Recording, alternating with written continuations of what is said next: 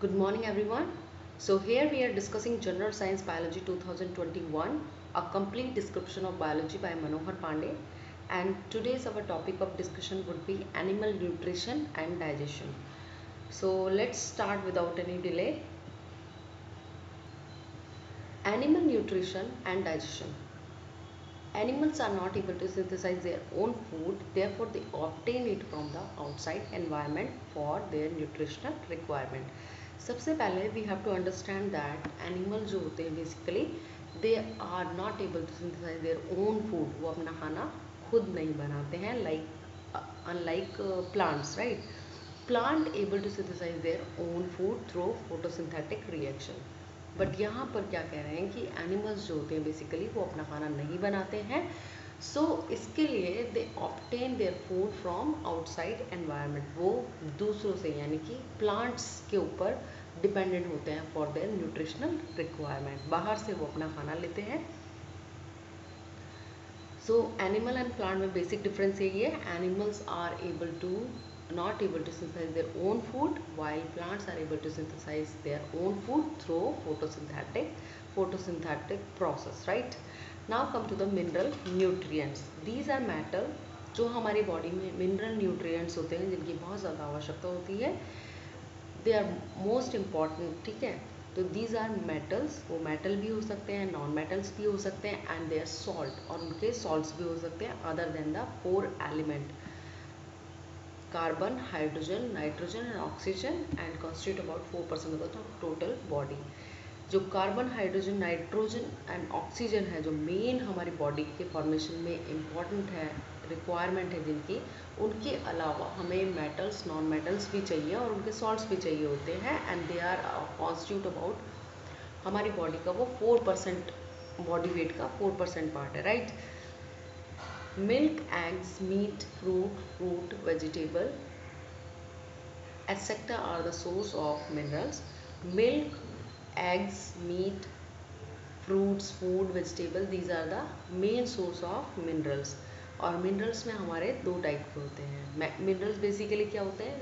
Like you have heard about calcium potassium phosphorus ठीक है? These are the minerals तो minerals दो तरह की कैटेगरी में डिवाइडेड है। First is macro macro means होता है ज़्यादा। मैक्रो मीन्स मोर राइट तो macro nutrients these are required in a large amount बहुत ज़्यादा इनकी ज़रूरत होती है हमारी बॉडी को। For example calcium phosphorus potassium Micro means they are required in a very less amount. बहुत थोड़ी सी मात्रा हमें इसकी चाहिए होती है less than one gram example iodine iron zinc etcetera now we will discuss about the minerals and their major sources और उनके यूज़ क्या है and their deficiency disease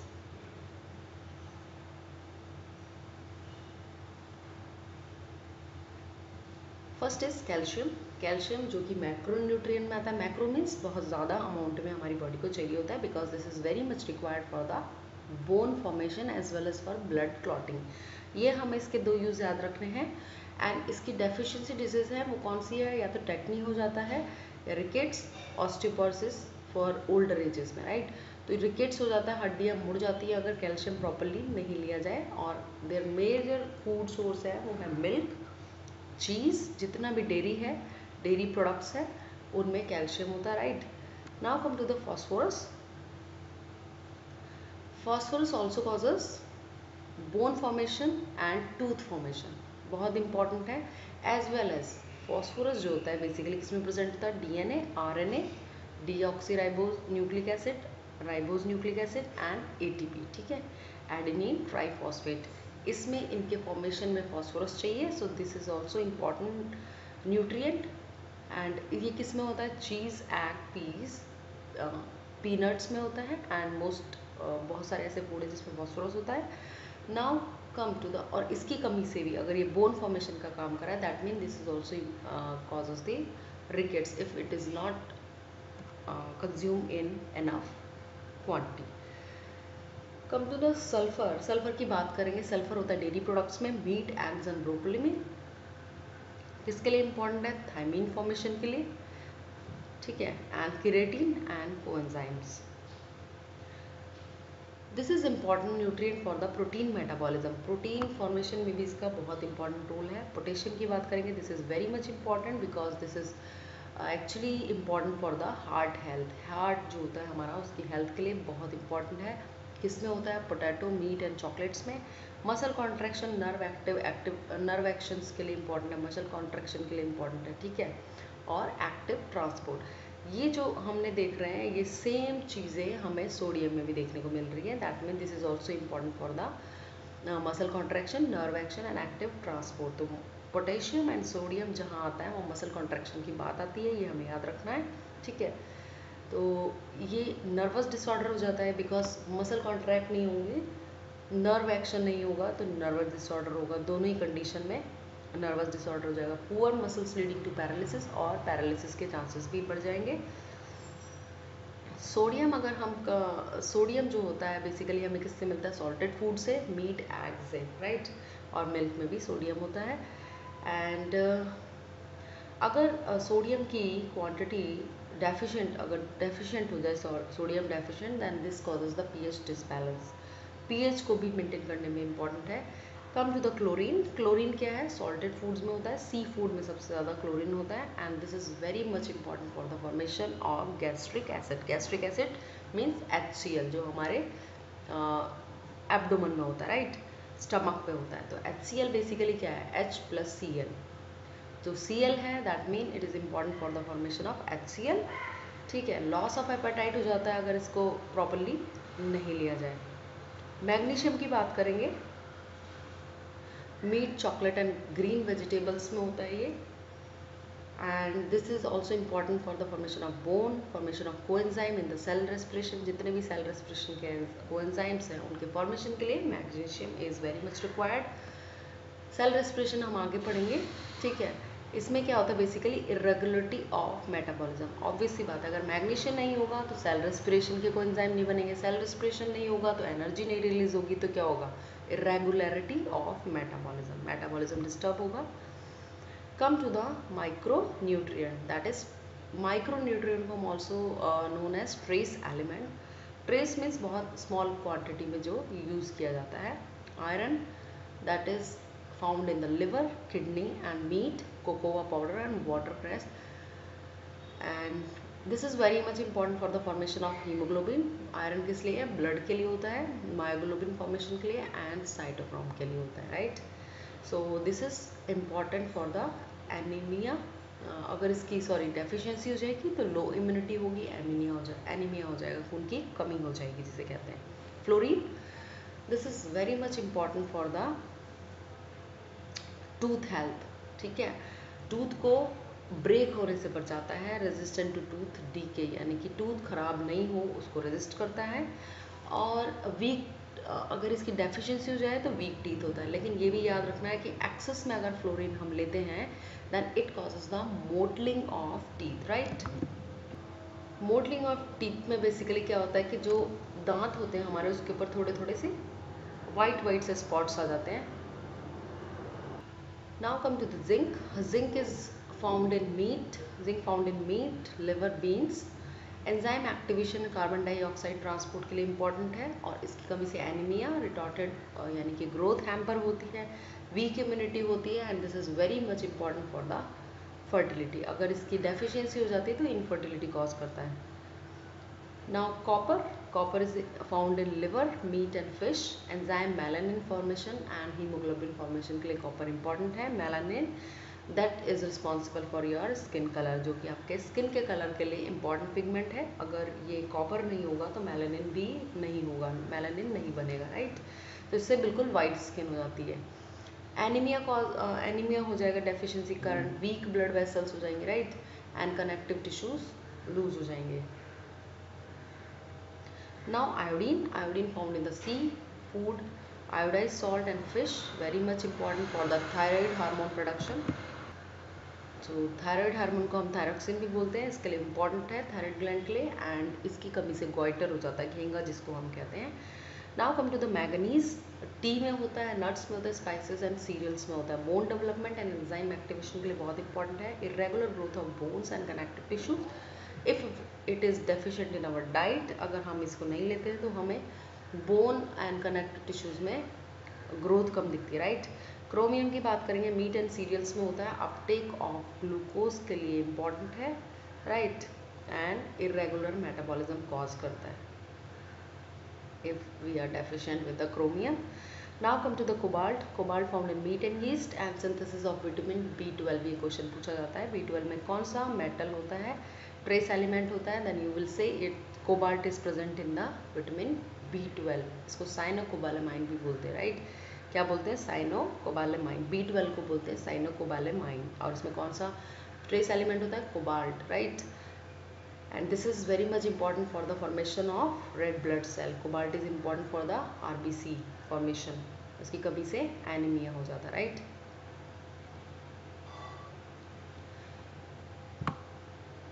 ना come to the water about 70% percent of the human body consist of water हमारी जो body है, उसका 70% जो भाग है, वो वाटर का बना है। Two third of the water exists inside the cell and the other one third is outside the cell in tissue, fluid and plasma, blood plasma. जो हमारे बॉडी का 70 परसेंट भाग है, उसका टू थर्ड वो कहाँ एग्जिस्ट करता है? सेल्स के अंदर और और बाकी बचा वन थर्ड कहाँ पर होता है? टिश्यू फ्लूड में और ब्लड प्लाज्मा में। It is essential for it is essential for digestion बहुत इंपॉर्टेंट डाइजेशन के लिए। Transportation, excretion and to regulate body temperature हमारी बॉडी के तापमान को नियंत्रित करता है एज वेल एज डाइजेशन में इंपॉर्टेंट है। Transport of products as well as excretion जो किडनी के थ्रू हमारा एक्सक्रीट होता है यूरिया वो किसके थ्रू होता है? वाटर के थ्रू ही, यानी कि यूरिन फॉर्मेशन में इंपॉर्टेंट है। Many factor affects the health of human body one of them is adulteration now in this book they are talking about the adulteration adulteration basically क्या है कि कोई भी अनडिजायरेबल प्रोडक्ट या चीप प्रोडक्ट हम food में डाल दें तो उसको हम कहते हैं अडल्ट्रेशन हो गई राइट सो फ़ूड एडल्ट्रेशन की बात हो रही है यहाँ पे। Addition of undesirable cheap and harmful substance in the food is called food adulteration, यानी कि फ़ूड में मिलावट होना। जब हम अनडिज़ायरेबल जो कि डालने नहीं चाहिए, वो प्रोडक्ट और चीप प्रोडक्ट उसमें मिक्स कर देते हैं किसी इम्पोर्टेंट सब्सटेंस किसी प्रोडक्ट के अंदर हार्मफुल सब्सटेंस मिक्स करते हैं तो हम उसको कहते हैं food adulteration Indian Standard Institute ISI mark and Agmark जैसे agriculture marketing are given by the B I S Bureau of Indian Standards after testing the purity and quality of material and food respectively जो Indian standard institution है ISI mark जिसको हम कहते हैं, वो लगा होता है एंड एग मार्क लगा होता है. किस पे? And that is given by the B I S Bureau of Indian Standard देता है। पहले प्रोडक्ट की टेस्टिंग होती है, उसको, उसकी प्योरिटी की टेस्टिंग होती है, उसके बाद उसको क्वालिफाई किया जाता है उसको, किसकी क्वालिटी सही है और उस पर फिर आईएसआई मार्क लगता है रैंक मार्क लगता है राइट और ये कौन देता है? B I S Bureau of Indian Standard ये हमें याद रखना पड़ेगा। द नंबर एक मिनट।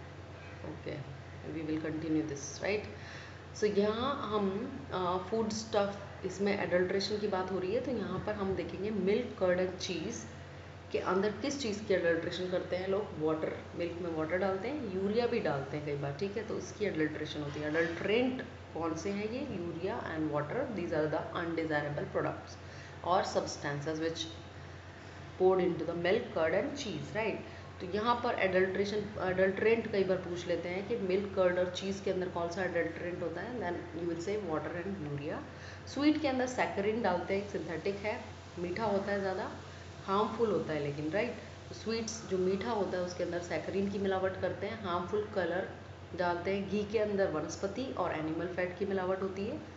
सीरियल्स में स्टोन सैंड एंड ग्रिट ये डालते हैं दाल जो होती है पल्सेस हमारे जो होते हैं, उनके अंदर स्टोन्स डाल दिए जाते हैं सैंड डाल दिया जाता है and grit for the making it वो हार्मफुल राइट जिससे उसका वज़न बढ़ जाता है कई बार। तो ये मिलावट होती है, मिलावट की चीज़ है। धनिया पाउडर में पाउडर्ड हॉर्स डंग डालते हैं राइट हॉर्स डंग की मिलावट होती है धनिया पाउडर में। और हल्दी के अंदर लेड क्रोमेट डालते हैं। पल्सेस में मेटलिन येलो एडेबल ऑयल में आर्गीमोन ऑयल और ब्लैक पेपर में पपाया सीड की मिलावट होती है right now we will come to the human digestive system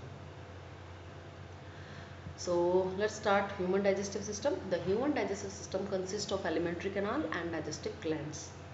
जो ह्यूमन डाइजेशन है, हमारा डाइजेस्टिव सिस्टम है बेसिकली किसका बना होता है? फ़र्स्ट एलिमेंट्री कैनाल का एंड डाइजेस्टिव ग्लैंड्स का। उसमें ग्लैंड्स होती हैं। The alimentary canal consist of mouth having teeth and tongue oesophagus हमारी जो एलिमेंट्री कैनाल होती है वो किसकी बनी होती है? माउथ राइट उसके बाद माउथ के बाद आता है इसोफेगस आहार इसको बोलते हैं आहार नली स्टमक यानी आमाशय स्मॉल इंटेस्टाइन छोटी आंत एंड द लार्ज इंटेस्टाइन बड़ी आंत। Teeth with the help of teeth the food is chewed teeth are four types जो हमारे टीथ होते हैं वो हमारे मुँह में होते हैं और this the this uh, initiate the digestion process how? They involved in chewing process, right? Chew, इससे करते हैं हम फ़ूड को और ये चार तरह के होते हैं। सीजर होता है फॉर कटिंग उसके बाद आते हैं कैनाइन फॉर टेयरिंग चीरने फाड़ने का जो काम करते हैं, काटने का काम करते हैं सीजर प्रीमोलर होते हैं चुइंग का काम करते हैं। Molar for chewing and grinding ना तो यहाँ हमें ये चार तरह के टीथ याद रखने हैं। Incisor canine canines, premolars and molars.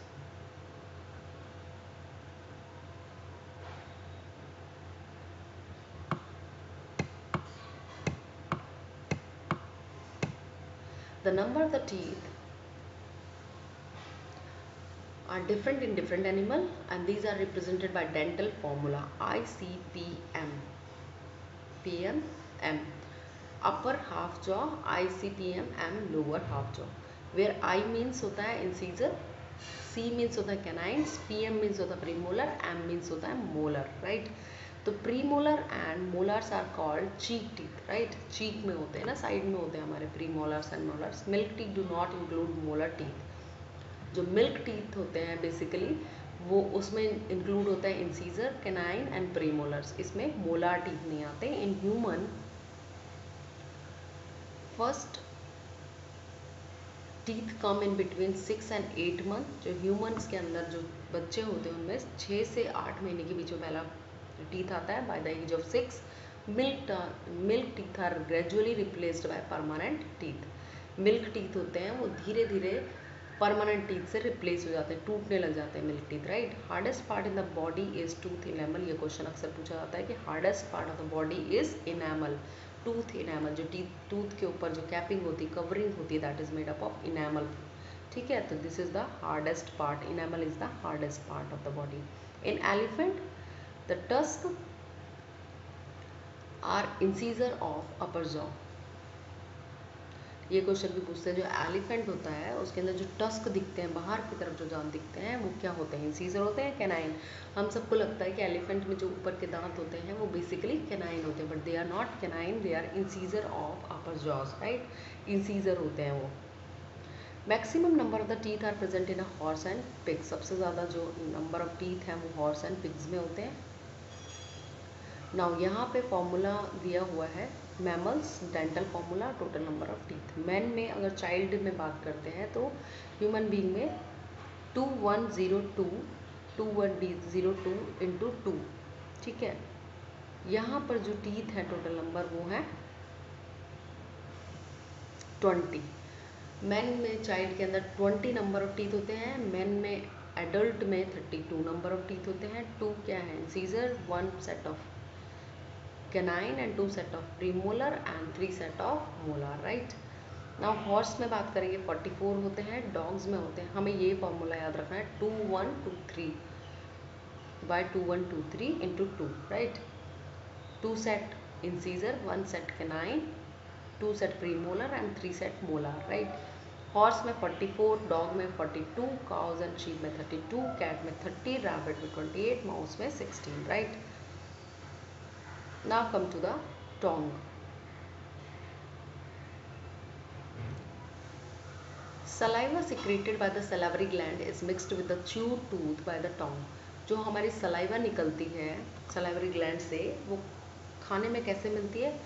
With the help of tongue only by the tongue tongue also contain taste bud due to which we sense bitter sour salty और स्वीट टेस्ट इसमें जो यहाँ पर taste buds दिखाई हुए हैं। This is the tongue tongue के अंदर हमें दिख रहा है यहाँ पे जो फ्रंट पार्ट है, ये होता, ये स्वीट को डिटेक्ट करता है। This part detect the salt and this taste the sour taste खट्टा जो होता है एंड बिटर लास्ट वाला पार्ट हमें बिटर का टेस्ट कराता है right now come to the function of digestive system. Splitting of complex food material into simpler molecule by hydrolysis so that they can be easily absorbed by the intestine is the main function of digestive system. सबसे पहले हम जो complex food होता है, उसको chew करते हैं, उसको स्प्लिट करते हैं और उसको हाइड्रोलाइज करते हैं। ठीक है सिंपलर मॉलिक्यूल्स में वो टूटता है, उसके बाद वो इजीली एब्जॉर्ब हो जाता है थ्रू अवर इंटेस्टाइन तो ये मेन फ़ंक्शन है कि एब्जॉर्प्शन होता है न्यूट्रिशन का राइट हम्म? और जो अनडाइजेस्टेड पार्ट है, वो इजीली निकल जाता है। Man and other animal have holozoic nutrition right holozoic means होता है कि complete internalization of solid food हम सारा जो फ़ूड होता है वो मुँह में लेते हैं, उसके बाद उसको खाते हैं। एब्जॉर्ब नहीं करते राइट right? बाहर से एब्जॉर्ब नहीं करते, हम उसको कम्प्लीटली इनसाइड माउथ के अंदर लेते हैं, ठीक है? और उसके बाद उसको चू करते हैं।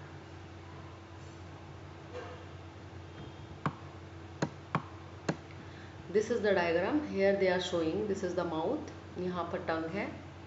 यहाँ पर सलेवरी ग्लैंड है parotid sub mandibular gland sublingual gland and ये ग्लैंड दिखाई हुई है सलाइवरी ग्लैंड जो सलाइवा सिक्रीट करती है, जिसमें टाइलिन एंजाइम होता है ओरल कैविटी है पैरिंग्स आता है उसके बाद। And this is the oesophagus ठीक है? या हार नली होती है जिसमें से खाना अंदर जाता है, उसके बाद हमारा स्टमक आता है यहाँ पर। स्टमक के बाद यहाँ पर अगर देखेंगे तो स्मॉल इंटेस्टाइन दिख रही है आपको। And then this is the large intestine and this is anus rectum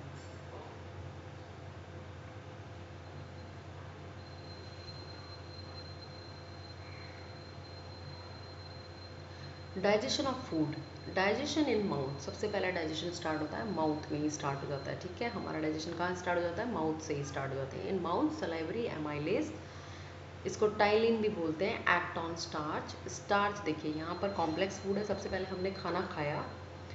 जो हमारा जो मेन फ़ूड है, वो क्या है? कार्बोहाइड्रेट होता है। सबसे ज़्यादा हमारा कार्बोहाइड्रेट हमारी थाली के अंदर होता है, उसके बाद प्रोटीन एंड फैट तो सबसे ज़्यादा जो कॉम्प्लेक्स स्टार्च होता है वो क्या है? माल्टोज में कन्वर्ट होता है। यानी कि उसको स्टार्च को वो किसमें तोड़ता है? माल्टोज में। कौन तोड़ता है? टाइलिन एंजाइम इसको सलाइवरी एमाइलेज भी बोलते हैं, जो कि सलाइवा में होता है right digestion stomach the food passes through down the oesophagus into stomach इसके बाद सलाइवे में पचने के बाद हमारा खाना क्या होता है?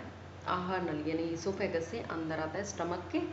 Now food is mixed with gastric juice and hydrolytic enzyme जो हमारा खाना होता है बेसिकली वो किसके साथ मिक्स होता है? गैस्ट्रिक जूस के साथ। गैस्ट्रिक जूस क्या है? H C L gastric juice and hydrochloric acid which disinfect the food and create acidic and medium जो हमारा खाना होता है, अगर उसमें कोई इन्फेक्शन हो, कोई बैक्टीरियल हो या कोई भी बैक्टीरियल इन्फेक्शन हो, कुछ भी अनवांटेड पार्टिकल हो, उसको डिसइनफेक्ट कौन करता है? एच और gastric juice right pepsin digest protein and convert them into peptone pepsin जो होती है बेसिकली पैप्सिन किसमें होता है? गैस्ट्रिक जूस में होता है, और वो क्या करती है? प्रोटीन को डाइजेशन का काम करती है right and rennin convert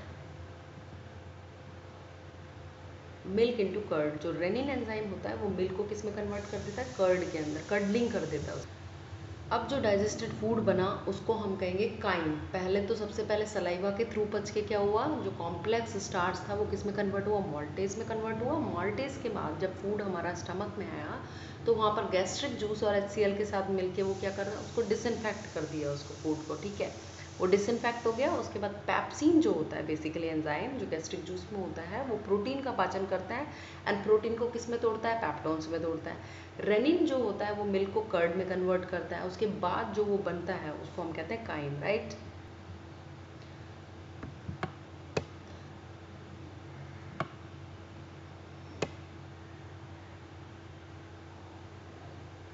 complete digestion अच्छा ये हमारा छूट गया। Complete digestion process takes place in following four step ingestion of food सबसे पहले इंजेशन होता है। Ingestion takes place in buccal cavity buccal cavity क्या है? हमारी माउथ है, ठीक है? हमने पहले खाना अंदर लिया। इंजेक्शन मीन्स अंदर लेना खाने को। Inside the mouth saliva, lubricate the food and binds the food particle together to form the bolus. फिर उसके बाद हमारा जो सलाइवा है, वो खाने को थोड़ा लुब्रिकेट बनाता है और बाइंड करता है फ़ूड पार्टिकल्स से।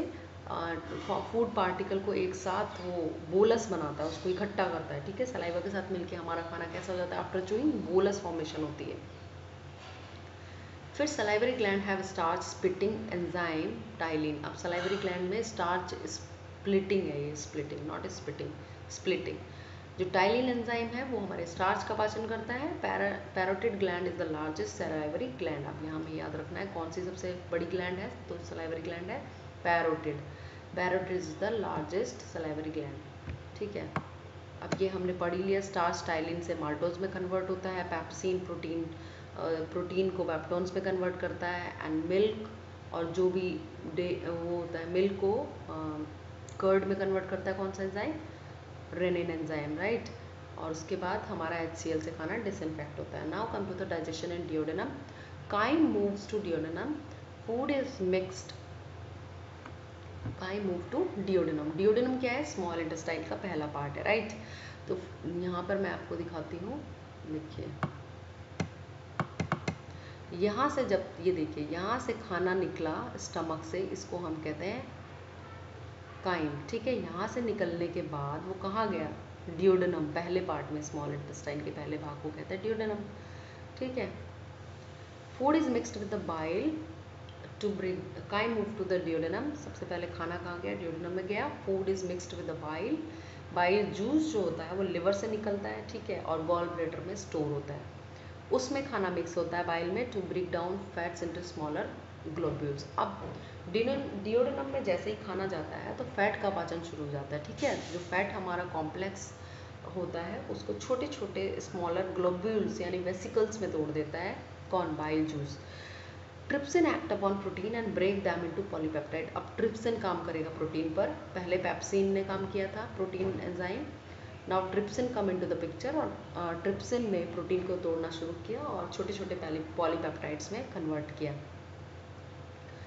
Amylase convert starch into simple sugar जो एमाइलेज था, वो एंजाइम क्या होगा स्टार्च को फर्दर तोड़ता है और सिंपल शुगर में बना देता है। ठीक है? सिंपल शुगर मतलब छोटे अणुओं में तोड़ देता है। स्टार्च को तोड़ के छोटा बना देता है। Then lipase convert fat into fatty acid and glycerol सबसे पहले फैट पे किसने काम किया? बाइल ने। बाइल जूस ने काम किया, ठीक है? और उसको छोटे छोटे स्मॉलर ग्लोब्यूल्स या वेसिकल्स में कन्वर्ट किया।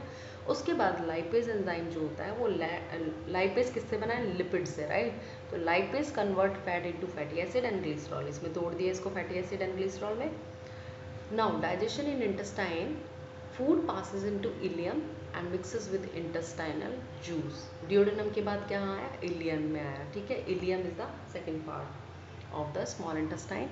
Food passes into the ileum and mixes with the intestine intestinal juice. Intestinal juice आया where maltase convert maltose into glucose.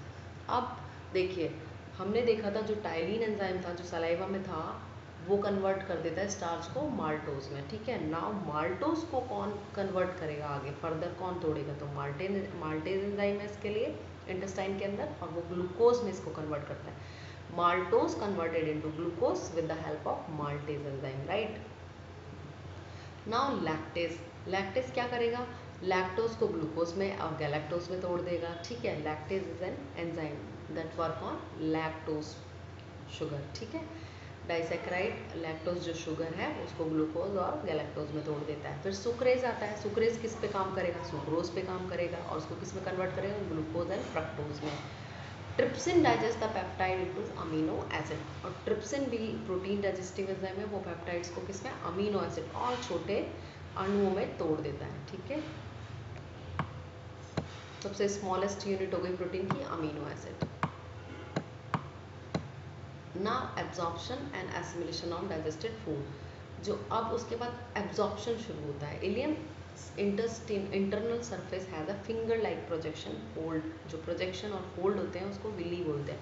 देखिए, हमारे इंटेस्टाइन के अंदर इलियम है स्मॉल इंटेस्टाइन में, वहाँ पर फिंगर जैसी प्रोजेक्शंस हैं फोल्ड्स बने हुए हैं हमारी इंटेस्टाइन में। क्यों बने हुए हैं? Because of so that it increase the absorption ठीक है? बहुत ज़्यादा सरफेस एरिया बढ़ जाएगा फिंगर लाइक प्रोजेक्शन से, और वो क्या करेंगे? फ़ूड को एब्जॉर्ब करने में हेल्प करेंगे. फ़ूड को एब्जॉर्ब मीन्स न्यूट्रिशन को न्यूट्रिएंट्स जो हैं जो बने हैं टूट टूट के उनको एब्जॉर्ब करेंगे.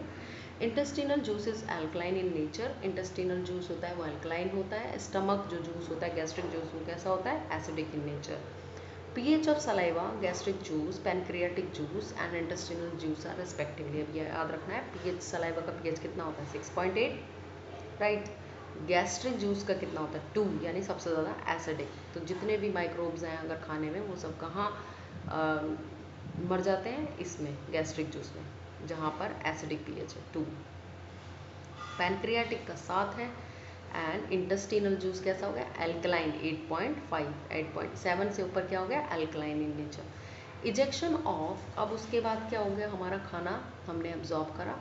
अब इजेक्शन ऑफ़ अनवांटेड फ़ूड जितना भी हमारा अनवांटेड फ़ूड है, वो सब क्या है? बॉडी से बाहर जाएगा। डाइजेशन जितना होना है, हो गया। Digested food passes into large intestine. Large intestine cannot absorb food, but absorb much of the water. हमारी बॉडी के अंदर जो मैक्सिमम न्यूट्रिशन एब्जॉर्प्शन होती है, वो स्मॉल इंटेस्टाइन में होती है। उसके बाद हमारा अनडाइजेस्टेड फ़ूड कहाँ जाता है? लार्ज इंटेस्टाइन में जाता है। स्मॉल के बाद कहाँ गया? लार्ज इंटेस्टाइन में गया। वहाँ पर क्या होता है, कोई खाना एब्जॉर्ब नहीं होता, कोई न्यूट्रिशन न्यूट्रिएंट एब्जॉर्ब नहीं होते बट वहाँ पर क्या काम होता है? वाटर एब्जॉर्प्शन का काम होता है। The remaining semi solid food is called faeces जो सॉलिड अब जो बचा है आफ्टर डाइजेशन जो एब्जॉर्प्शन के बाद क्या बच गया? Faeces unwanted product and it is passed into the rectum और वो रैक्टम में चला जाएगा and it is expelled out through the anus वो एनस के थ्रू बाहर आ जाता है। नाउ रफेज रफेज की बात करेंगे roughage is an another term of dietary fibre important होता है बहुत ज़्यादा बॉडी के लिए हमारे, रफेज। नेचुरल फ़ूड दलिया etcetera it does not provide energy but only helps in retaining water in the body ठीक है? तभी तो बोलते हैं कि रफेज खाने से हमारा जो हमें कॉन्स्टिपेशन नहीं होती तो this helps in retaining water यानी कि जो हमारी इंटेस्टाइन है, उसमें सारा पानी नहीं निकलने देता, उसको ड्राई नहीं होने देता रफे वो उसको अनवांटेड प्रोडक्ट को या फीसेस को। तो ये क्या करता है बेसिकली हमारे कॉन्स्टिपेशन रिलीव करने में हेल्प करता है।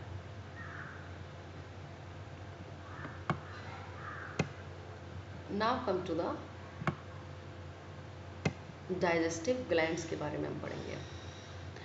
It is the largest gland of the human body and secrete bile juices which is stored in the gall bladder देखिए, जो लिवर है हमारा, जिसको यकृत भी बोलते हैं this is the largest gland of the human body और उसका काम क्या है? To secrete bile juices bile juice क्या करता है? फैट का पाचन करता है right which is stored in the gall bladder और ये कहाँ पर स्टोर होता है? गॉल ब्लेडर के अंदर. ठीक है? It regulate the quantity of glucose in the blood by converting extra glucose if any into the glycogen और glycogen is converted into glucose देखिए सबसे पहले हमारी बॉडी ने खाना खाया, ठीक है, हमने खाना खाया, उसके बाद ग्लूकोज बना। अब ब्लड में एक जो होता है ग्लूकोज का लेवल, एक अमाउंट, एक पर्टिकुलर अमाउंट में होना चाहिए, ठीक है। अगर उससे ज़्यादा होता है तो क्या करता है लिवर? लिवर उस ग्लूकोज को किसमें कन्वर्ट कर देता है? ग्लाइकोजन में, और उसको स्टोर कर लेता है। अगर हमारे ब्लड के अंदर कम ग्लूकोज है तो ग्लाइकोजन को वापस तोड़ कर ये ग्लूकोज में कन्वर्ट करता है और ग्लूकोज को हमारे ब्लड में सप्लाई करता है, ठीक है। तो ये इसका इंपॉर्टेंट रोल है it regulate the quantity of glucose in the blood basically glucose की क्वांटिटी को रेगुलेट करता है ब्लड के अंदर. It destroyed red R and regulate body temperature ये आर बी सी को डिस्ट्रॉय करता है और हमारे बॉडी के टेम्परेचर को नियंत्रित करता है. It convert excess of amino acid into ammonia बहुत ज़्यादा अमीनो एसिड हमारी बॉडी में होते हैं तो उसको अमोनिया में कन्वर्ट करता है which is converted into urea by ornithine cycle अब अमोनिया जो है वो यूरिया में कन्वर्ट होगा किसके थ्रू ऑर्निथिन साइकिल के अंदर। ये सारे काम कहाँ हो रहे हैं? लिवर में। Urea comes out from the body through kidney अब यूरिया जो है हमारे बॉडी से कैसे आती है बाहर? थ्रू किडनीज ठीक है? यूरिन फॉर्मेशन जो होता है। इस if there is any obstruction in the bile duct liver cells stop taking bilirubin from the blood consequently it is spread throughout the body which is called jaundice जब हमारे bile duct में कुछ obstruction हो जाती है, ठीक है? यानी कि वो ऑब्स्ट्रक्ट यानी कि वो ब्लॉक हो जाती है तो क्या होता है? लिवर सेल एब्जॉर्ब नहीं कर पाती बिलरूबिन को, ठीक है? और बिलरूबिन एब्जॉर्ब नहीं होगा तो ऑब्वियस सी बात है कि पूरे ब्लड में फैलेगा और इट कॉजेज द येलोइश मतलब आपका चेहरे का कलर येलो हो जाएगा। इसी कंडीशंस को हम कहते हैं जॉन्डिस ठीक है? तो इसमें जो बताएँगे आप अगर कि भाई जॉन्डिस किस तरीके से होता है तो ऑब्स्ट्रक्शन इन बाइल डक्ट जो बाइल डक्ट होती है बेसिकली उसमें ऑब्स्ट्रक्शन हो जाए, कुछ प्रॉब्लम आ जाए, वो ब्लॉक हो जाए तो लिवर सेल जो होती है, वो बिलरूबिन को ले नहीं पाती ब्लड से, ठीक है? और वो ब्लड में ही बहुत ज़्यादा मात्रा में डिस्ट्रीब्यूट हो जाता है। उस कंडीशन में आपके हाथ, पैर फेस सब येलो हो जाता है, उस कंडीशन को हम कहते हैं jaundice liver is an important body organ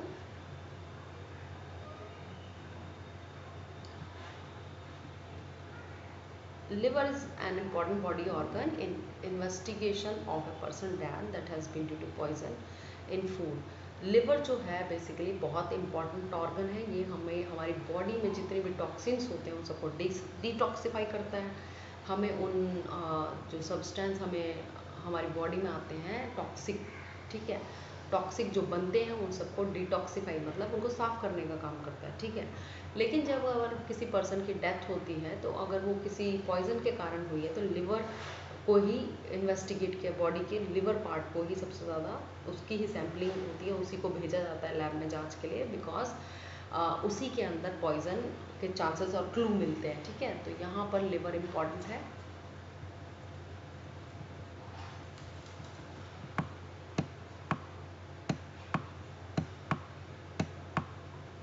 Now come to the pancreas it is the second largest gland of the human body सबसे बड़ी second largest gland of the human body क्या है pancreas first क्या है liver और ये कौन सी gland है second largest gland of the human body and contain islet of islet of Langerhans and exocrine part of secreting enzyme for carbohydrate protein and nucleic acid digestion देखो इसके दो part होते हैं एक होता है आइलेट्स ऑफ़ लैंगरहैंस जो कि uh, हम इस और एक्सोक्राइन पार्ट जो एक्सोक्राइन पार्ट होता है, वो कौन से एंजाइम सिक्रीट करता है? कार्बोहाइड्रेट प्रोटीन और न्यूक्लिक एसिड पचाने के काम करता है राइट जो आइलेट ऑफ़ लेंगर हेंस जो बता रहे हैं, वो endocrine part of the pancreas है, ठीक है? एक होता है एक्सोक्राइन पार्ट और ये है endocrine part endocrine part means ये हार्मोन का स्त्रावन करते हैं इट रिलीजेस हार्मोन इंसुलिन बोलते हैं जिसको प्रोटीन जो इंसुलिन जो होता है, वो ग्लूकोज लेवल को कंट्रोल करता है ब्लड में.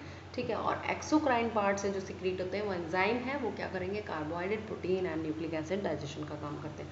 The most common is the beta cell which secrete insulin जो आइलेट्स ऑफ़ लेंगर हैंड्स है, उसके अंदर बीटा सेल्स होती हैं। उनका काम क्या है? सिक्रीट करना किसका? Insulin hormone deficiency of which causes diabetes mellitus अगर इंसुलिन हार्मोन हमारी बॉडी में नहीं सिक्रीट होते हैं प्रॉपरली देन क्या होता है? डायबिटीज़ मिलीटस यानी डायबिटीज़ की, मधुमेह की बीमारी हो जाती है and excess of insulin causes hypoglycaemia और जब बहुत ज़्यादा मात्रा में इंसुलिन हो जाता है, हमारी बॉडी के अंदर एक्सेस मात्रा में इंसुलिन रिलीज़ होने लगता है तो हाइपोग्लासी ग्लाइसीमिया हो जाता है.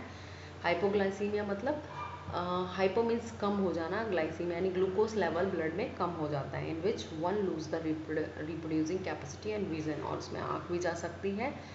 आपकी विजन जा सकती है as well as reproducing capacity भी हैम्पर होती है।